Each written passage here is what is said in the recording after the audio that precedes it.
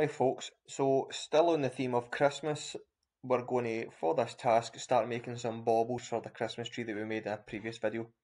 So as usual, new tab, metric folder, standard millimeter IPT, really important.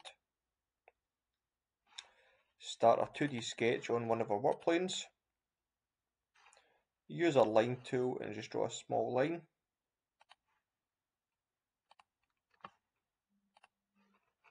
When we've done that, choose our dimension option. Let's dimension this line to be, say, 80 millimeters.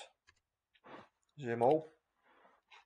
And this time we're just going to draw half a circle, so we're going to use a three-point arc here. So click the very top of your object, again find that green snap node, the very bottom, then choose to get a nice curve. Now again, we don't want to take it too far in that our sketch starts to kind of come back in itself. So a nice simple curve about there, 40 mil, half my diameter, makes it a perfect sphere.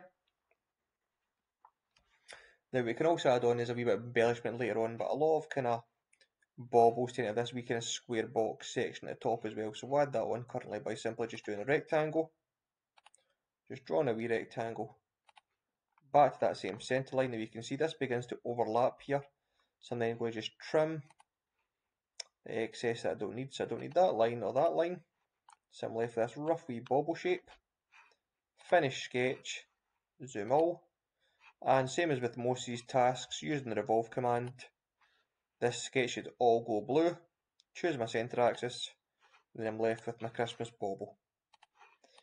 Now to make this a bit more interesting for later on, we're going to save this bauble in three different colours. So the best way to do that is choose a colour wheel. Let's move our bauble to the side. Again, expand the home option, expand the appearance library, then choose plastics. You would obviously choose whatever you want. I'm going to obviously make my bauble one colour and I'm going to have this looking metallic at the top. So maybe make my bauble a nice red this time. You can see a really high nice glossy red and let's find a metal or a gold even to apply to the top one here and one here. Now it's really important to do these to begin with because when it comes to rendering our image in the end, it makes all the difference. So when we've got one of our baubles done, we're going to save this. Now we're going to save this multiple times. I'm going to go just File, and rather than our usual option of Save or Save As, I'm going to click the Save As arrow and then choose to save a copy of this. Again, I'm going to the desktop here. I'm just going to call this one Bauble Red, for instance press save,